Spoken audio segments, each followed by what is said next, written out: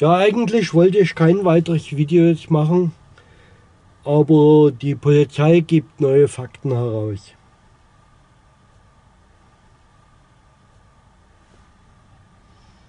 War das doch keine überzeugende Maßnahme bei dem Mädchen, das vom Direktor und der Polizei aus dem Unterricht geholt wurde und im Direktorzimmer eine Einschüchterungsmaßnahme über sich hat ergehen lassen musste? Hey Leute, auf der Internetplattform Instagram erklärte das Schweriner Bildungs- und Innenministerium unter Berufung auf die Polizei. Es war nicht das Schlumpfvideo ausschlaggebend für den Polizeieinsatz, sondern die Täterin soll unter anderem Sprüche wie Nix Jalla Jalla und in Deutschland wird Deutsch gesprochen gepostet haben. Vorher wurde jedenfalls gesagt, es ging um ein Schlümpfe-Video. Darin hieß es, dass Schlümpfe und Deutschland etwas gemeinsam haben. Die Schlümpfe seien blau und Deutschland auch.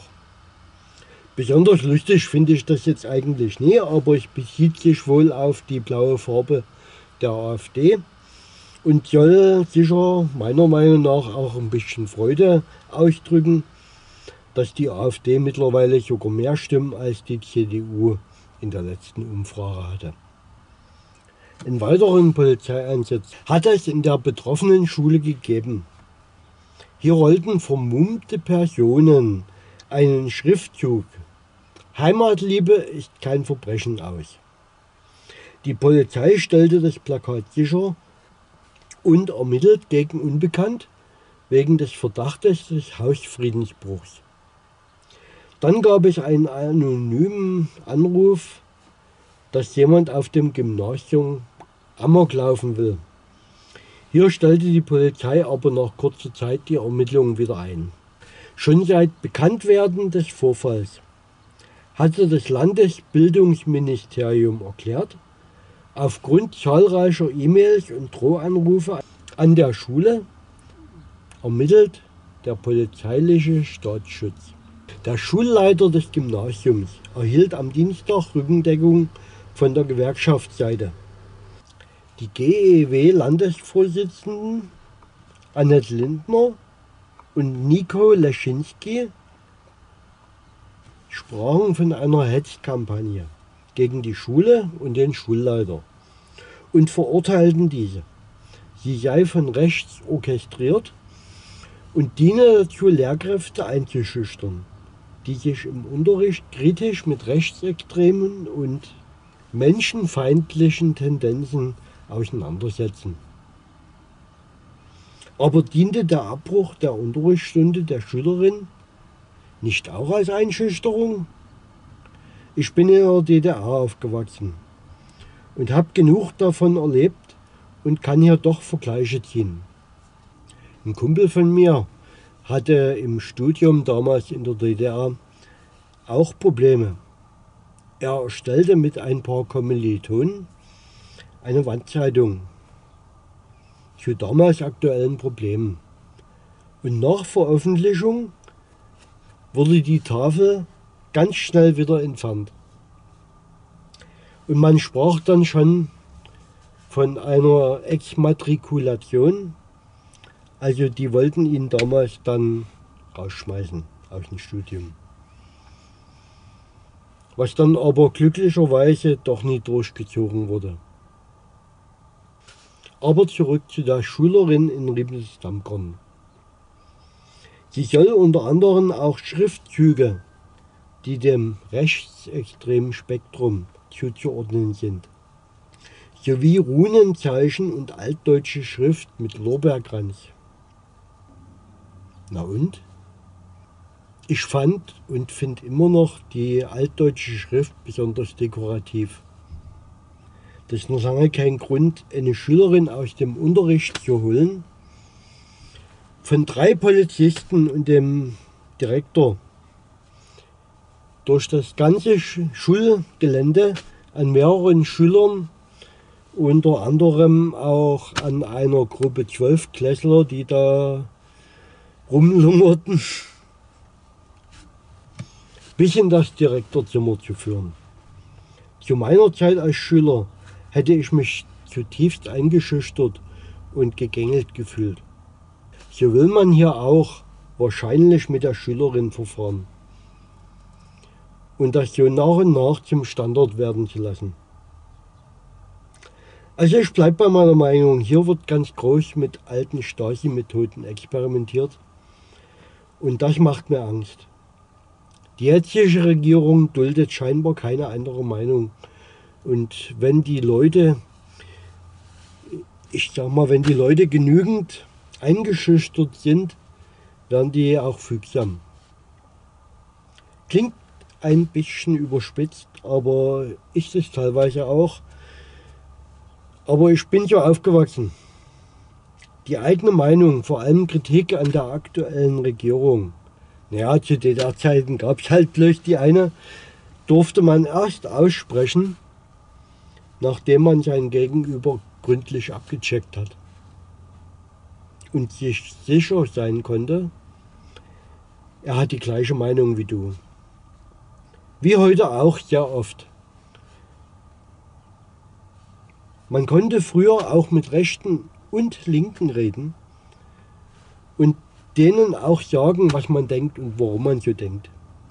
Redet man heute mit Linken, wird man ziemlich schnell zum Nazi tituliert und derjenige will nicht mehr mit dir reden.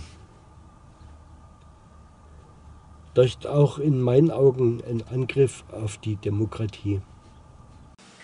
Ach so, noch ein kleiner Nachtrag, weil ich ganz vergessen habe. Die hatte unter anderem Nazi-Klamotten an. Die hatte eine Jacke, da stand HH drauf. Was das heißt, brauche ich ja theoretisch keinem erklären. Und ich habe jetzt mal geguckt. Amazon ist ein total rechter Versandhandel. Die verkaufen das. Jedenfalls sieht mir die Sache mit der Schülerin sehr nach geplanter Inszenierung aus. Wieso wird erst das Schlumpfvideo als Grund angegeben? Und erst nachdem aus vielen Richtungen Protest kommt, werden hier noch weitere, aber auch nicht weitere besser, bessere Gründe genannt. Oder ist in, inzwischen wirklich verboten? Seine Heimat, in der man aufgewachsen ist und lebt, zu lieben. Ist es verboten zu sagen, ich bin stolz, Deutscher zu sein? Auch der Spruch, wir sind Deutschland, hier wird Deutsch gesprochen, ist meines Wissens nicht verboten. Gut, den würde ich vielleicht auch nicht so verwenden, da ich auch gern im Ausland unterwegs bin freue ich mich schon, wenn man mit ein paar Brocken Englisch und Russisch weiterkommt. Da fällt mir eine kleine lustige Story ein, um die Sache noch ein bisschen aufzulockern. Ich war vor vielen Jahren mal in Florida gewesen und hatte mir unter anderem dort einen Jetski ausgeliehen. Ich fuhr so teilweise ganz schön schnell durch die Bucht und plötzlich hörte ich eine Polizeisirene. Da stand ein großes Boot von der Wasserschutzpolizei und die winkten mich ran. Ich wurde dann belehrt nach dem Motto, du bist hier in dieser Bucht, hier leben viele schützenswerte Tiere und so weiter. Du weißt, dass man hier nicht so schnell fahren darf. Wenn du schneller fahren willst, fahr, fahr da vorne raus auf, auf eine Meer und ja, so in die Richtung haben die mir dort gesagt. Ich habe auch eigentlich alles verstanden. Ich kann aber auf Englisch nicht sofort antworten oder sowas. Also so gut spreche ich das, das natürlich auch nie. Ich habe da jedenfalls alles verstanden, konnte aber nicht oder zumindest nicht gleich richtig antworten und habe immer wieder bloß yeah, yeah, yeah gesagt. Nachdem er mir dann gesagt hatte, ich soll aufs offene Meer fahren, wenn ich schneller fahren will, fragte er, Are you German? Bist du Deutscher? Und ich wieder auch bloß ja gesagt. Jedenfalls, ich denke mal, der rätselt heute noch, ob ich den verstanden habe oder. Das war es nämlich auch. Danach hat er dann gesagt, okay, ciao. so in die Richtung.